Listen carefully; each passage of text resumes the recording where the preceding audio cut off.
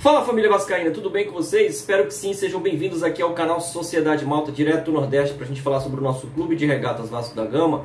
E no vídeo de hoje a gente vai abordar um tema polêmico para reflexão. Né? Vimos aí que na quarta-feira o Vasco pagou salários de atletas e funcionários. E de onde teria vindo essa grana, né?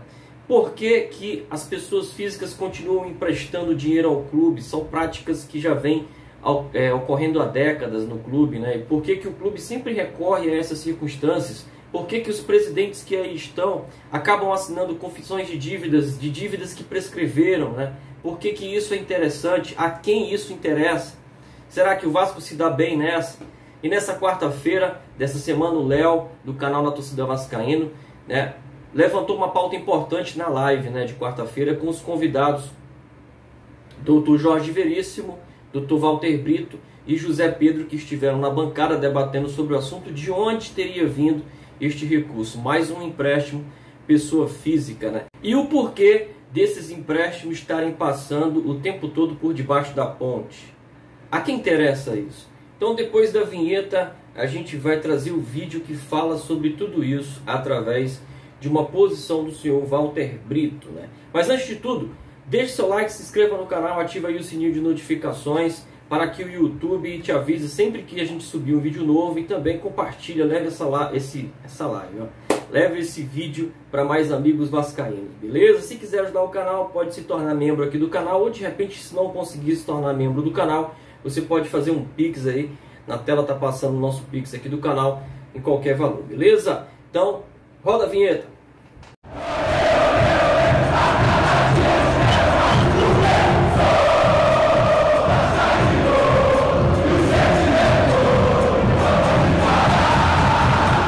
Pode ser questionado na frente? Claro, claro. Claro, pode, né? Eu imaginei que sim. Ô, Pedrão, o que, que aconteceu com o Zé do Táxi? Porque foi.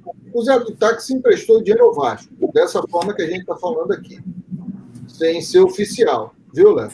Aí o que, que aconteceu? O Eurico saiu do clube. Quando o Eurico saiu do clube, o, Zé do, o, o Vasco foi e questionou a dívida. Não, essa dívida não existe. E a justiça decidiu que a dívida não existia. Porque fez o quê? Fez uma perícia e tal. Não, não existe essa dívida, não tem como, não tem, não tem nenhum documento que dê amparo legal a essa dívida. Só que aí, quando o Eurico volta ao poder, o Eurico faz uma manobra judicial no segundo grau. O relator do processo, que já tinha concordado com a juíza, volta atrás e logo depois que ele dá uma decisão monocrática voltando atrás, o Eurico corre e faz um acordo com o Zé do Táxi, renova o acordo. Entendeu? Então, essa, esses são os riscos. Quem assumir amanhã pode simplesmente dizer: não pago. Não pago, vamos para a justiça brigar. Até porque, para você me cobrar, você tem que provar a origem do seu dinheiro, que você tinha condições de emprestar. Então, são, são riscos. Eu tenho, eu tenho uma pergunta aí no meio disso tudo aí. Vocês falaram que todo empréstimo tem que passar pelo Conselho Deliberativo, correto? Todo correto. empréstimo oficial. Pelo Estatuto. Pelo Estatuto. O Estatuto prega isso. Todo empréstimo. Cara. Rapaz, abre muito mas abre muito. Às vezes o estatuto também abre muito aí a possibilidade. Mas não é culpa do estatuto, não, Léo. Aí é manobra do sujeito. É por isso que eu peço as penalizações. pode né? emprestar dinheiro ao Vasco. Mas ele empresta, declara que emprestou, cobra os juros, leva para o conselho, o conselho aprova. O conselho tem que aprovar os juros, tá por bom. exemplo. Tá bom, vamos lá. Eu digo é isso. É que é levado Sim. ao conselho um, um empréstimo que não é oficial, que é feito igual você falou aí, né? Nos riscos de quem emprestou e tudo mais. Como é que isso entra no balanço do Vasco? Não, não entra. entra. Não, não entra. entra. Aí é que tá, não entra. Mas depois aparece como confissão de dívida, é isso? Exatamente. É, é isso aí. É. A jogada é essa, né? Ou então vem o seu Carlos Leão, que agora quer dar de santo, e consulta o outro lá, ele botou o dinheiro, botou, então eu vou botar aqui no, no balanço. É isso. Mas bota a revelia? Não, sem bota, bota sem nenhum fundamento em documentos que comprovem o empréstimo. Que isso, gente? Mas foi o que aconteceu. Que ele isso? Ele falou isso que no programa, pô. Eu quero parar de perguntar, porque eu acho que quanto você, mais eu pergunto. Aí, na hora que ele pior. falou isso no seu programa, eu dei o meu dislike, você ficou bravo comigo. Eu não sei quem dá dislike aqui, então não fiquei bravo contigo. E também o dislike é live, é, é, é, é válido na live.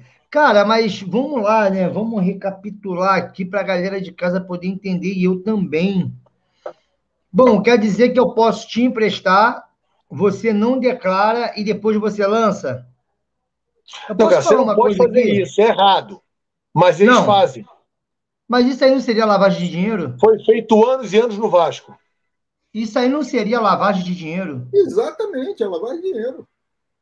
É lavagem tem outra. Tem... Ô, Pedrão ficou com medo agora de falar, Pedrão, que é lavagem de dinheiro? Eu tentei dar um exemplo, Cara, claro. Assim, eu tentei dar um exemplo. Eu acho que é bem, mas. Eu tentei dar um exemplo claro que foi o caso do Zé do Táxi, que é documentado.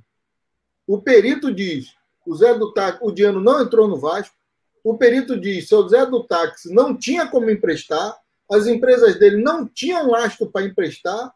Então, é lavagem de dinheiro. O que ele fez foi lavar dinheiro no Vasco. Ele botou um dinheiro que ele não declarou, porque não estava na declaração dele. Ele não tinha lastro pela declaração dele para emprestar. A empresa não tinha, ele não pagou imposto daquele dinheiro. E depois ele veio receber o dinheiro lá na frente. É isso, isso que eles aí, fazem. Tipo, eu não estou acusando ninguém, não, tá, gente? Pelo amor de Deus. Mas a prática. Léo, é isso, isso está no processo judicial, na perícia judicial. Estou falando aqui, eu fui expulso por isso. E voltei ah. para o clube. E voltei ao clube porque justamente hum. provei que eu falei em cima de documentos. Eu não estou, eu falo em cima de Cara, documentos.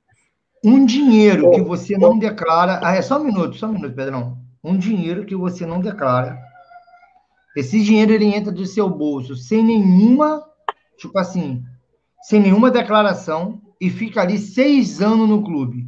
Você recebe ele com juros e ele passa a ser é, notificado no seu balanço depois de seis anos. Cara, não tem outro nome para me dar isso.